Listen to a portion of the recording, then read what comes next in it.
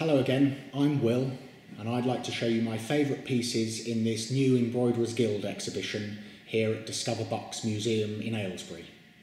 The exhibition is called Sew New, and it focuses on recent additions to the Embroiderers Guild collection. Now, before I show you my favourites, I'll walk you around the gallery space so that you can get an overview, and whilst doing that, I will give you a bit of background information.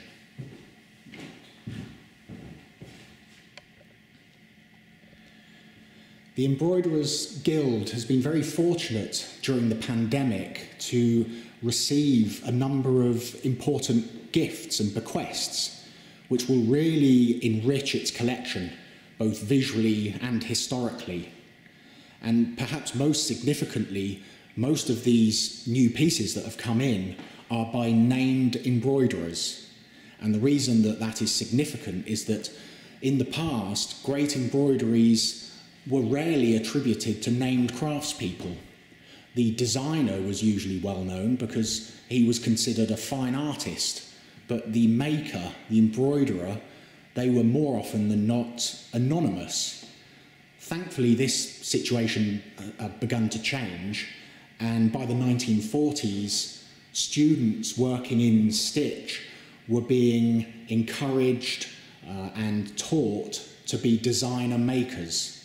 In other words, to completely own the creative process from beginning to end. And the public has now got used to this situation, and so today the embroiderer is known by name and reputation. So all the works in this exhibition are by named embroiderers, and crucially, by embroiderers that in their lifetime did make or have made a significant contribution to the world of embroidery in terms of the, um, the books and the articles that they've written, uh, their teaching, the students that they've, they've taught, the exhibitions that they've put on. In other words, their legacy in the embroidery world. And you'll probably recognise many of the names in the exhibition because they include Jan Beaney, Val Campbell Harding, Eirian Short, Vera Sherman, to name a few. So, to my favourites. And the first piece that I want to show you, it rather flies in the face of the old adage, save the best till last, because I want to start actually with my number one favourite piece in the exhibition. And it wasn't always my favourite piece. When I first saw it, it didn't scream, look at me. It's much more subtle than that but the longer I've spent with it and now seeing it here in the gallery space, I've really come to love it. And it's this piece on the wall over here, and it's by an artist called Francine Wilkins. Now, this piece is called Wayne Wake, and it was made in about 2005. And I really love the, the subtle colours, the blue background, and then the trees and the figures in brown. It's a, a limited colour palette, but it's really rather beautiful. Now, Francine, she's based in Nottinghamshire today, but she did spend a number of years uh, living in Uganda. And the African landscape and its people and colours and wildlife had a profound effect on her work, and I think you can see that in the uh, subject matter here. But what's really lovely about this is that the closer you get to it, the more detail there is, and you can really see the beautiful stitch work. Now look at the trees there. It looks like Francine has used some sort of bark cloth to give the texture of the trees, which is really lovely. And I love the uh, stitches used for the branches of the trees. Um, forgive me, I'm not an embroiderer, so I'm not sure what those stitches are. Is it feather stitch, perhaps? The embroiderers amongst you will, will know better than I. Um, but the pièce de résistance of this work for me are the figures. I love the way Francine has created the patterns on the, the fabric of their clothes with some lovely stitch work there. And it really does evoke the, sort of brightly coloured geometric patterns that you often find on African textiles. It's really cleverly done. And I also like the format of the, the picture because although it depicts a landscape, it's actually in portrait format, so it's more unusual in that regard. Okay, so my next piece that I'd like to show you is a nice contrast with Francine's piece because this next piece is a riot of colour. And actually, that's what drew me to it initially. When these pieces first arrived at the museum and I was unwrapping them to enter them into the collection, I knew from the moment that I unwrapped this next work that I was going to be a fan of this artist. And the artist in question is Eugenie Alexander, and it's this piece here. It's called Faces in the Jungle. Now, for, forgive the reflections on the glass, it's difficult to see it properly. But it's this beautiful jungle scene with lovely blue sky at the top, which really pulls it all together. And underneath, you've got this, as I say, a riot of colour. And in terms of the subject and the style, it's very reminiscent of the paintings of uh, the French painter Henri Rousseau. And it wouldn't surprise me at all if uh, Francine had been influenced by Rousseau's paintings. And actually, that is one of the interesting um, features of, of this exhibition and the, the stories of the artists is that a number of them came from traditional fine art backgrounds. So, for instance, Eugenie studied at Chelsea College of Art in the 1930s, and she was actually taught by Henry Moore and Graham Sutherland. And there are other artists in the exhibition who studied at Goldsmiths and Central St Martin's. So there's this really strong overlap between the traditional fine art world and the embroidery world, and I find that really interesting. But this is a, a fabric collage, so that's what Eugenie became well known for in the 1950s.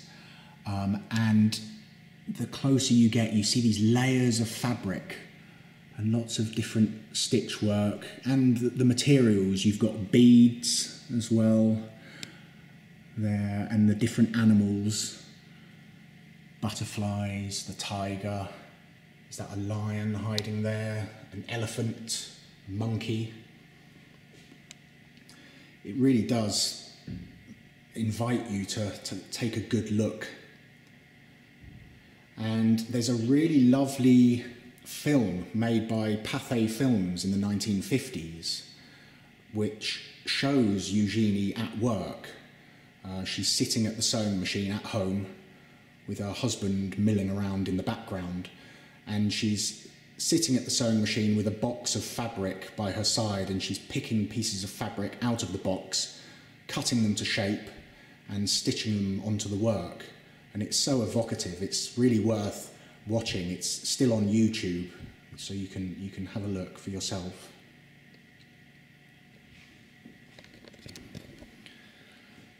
Okay, the next piece I'd like to show you offers a nice contrast with Eugenie's work because where Eugenie was a master of colour. The next artist was a master of line, and she was a pioneer of machine embroidery. And the artist is Joy Clucas. And this piece here I'd like to show you. It's called Daisies. And Joy Clucas came to prominence in the, uh, well, from the 1960s. And she was very well known for the intricacy of her stitched lines that she used in her work. So if I get up close onto this piece, you can see what I mean. It's beautifully detailed, and she uses different density of, of stitch work to create different effects. It seems to become more detailed the closer you get to it. It's extraordinary a bit like nature itself, in fact. And it reminds me a little bit of uh, the old spirograph um, patterns that you could create, you know, in the 1970s and 1980s, the geometric shapes that you would create with the spirograph.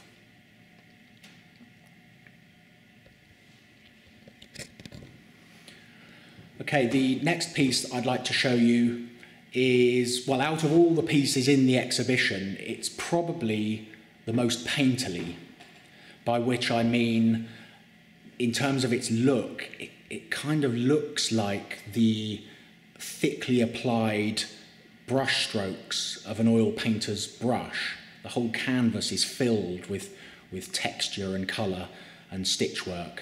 And the artist in question is Richard Box. And this is the piece that I'd like to show you. It's called Primroses, Violets and Celandines. And it was made in 2011. And Richard actually is another of those artists that came from a fine art background.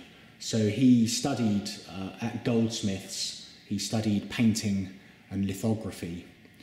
And I think that really shows in his approach to his work. It is very painterly. And the way he works, he will always start from nature by drawing and painting from nature, and then he will create these fabric collages um, with uh, machine and hand embroidered stitchwork on top. And they're just so dense. The, the closer you get to it, you just see the, the detail in there. It's extraordinary. And what I particularly like about this work is how the embroidery goes around the side, it covers the frame, so it's not in its own separate frame. The, uh, the embroidery has become the frame, it's all encompassing. And Richard, he, he had a, a teaching career into the 1980s um, at which point I believe he, he gave that up to focus on his um, art. And he's been working ever since. He regularly gives talks, uh, workshops, he writes books. Um, he's a very well known figure in the embroidery world.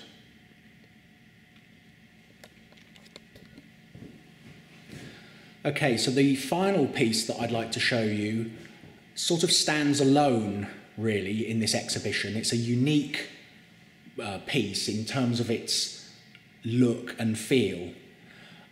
And by that, I mean that it's sort of timeless. So some of the pieces in this exhibition, um, and I don't mean this in a bad way, but you can date them in terms of the style and the colours that are used. But with this next piece, it's quite difficult to pinpoint the era that it's from. And I rather like that. So the imagery that it uses is Victorian, but it was actually made in the 1960s. But to my eye, it almost looks like it could have been made yesterday. And it's this piece here, made by Maureen Helsden in 1965. And it's a curious piece because it, it seems to more than any other work in the exhibition, fit into a traditional fine art mould. There's something conceptual going on here. There's a story that it's telling that is not immediately obvious.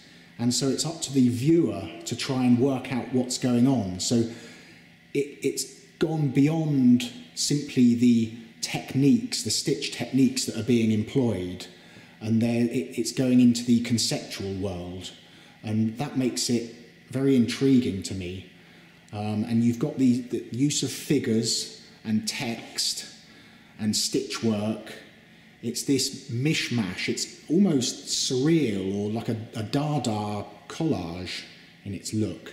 Now, I don't know whether Maureen screen printed these figures or if they are recycled um, printed figures from other fabrics, possibly the latter, but Maureen did use screen printing in her works. And she was also renowned for her use of contrast. So often she would have a, like a dark background and she would create contrast by having light stitchwork and lighter fabrics um, appliqued on top. And you can see that here, this wonderful mannequin outlined in white here, which is very bold and the same with the, the hand there against the, uh, the red fabric, and then the eye and the nose really creates a striking um, image. And then you've got this Victorian gent on the left observing um, who seems to be walking out from behind this cut fabric. So his arm is partially hidden by the, the fabric there. So it's, it's an intriguing piece, and uh, I keep coming back to it and, and um, want to solve the puzzle, if you like. Okay, so they're my five favourite pieces in the exhibition. I hope you've enjoyed seeing them. And the exhibition will be on throughout 2022, so there's plenty of time for you to come along in person and, and see the exhibition if you're able to do that. And it would be lovely to see you. So until then, cheerio.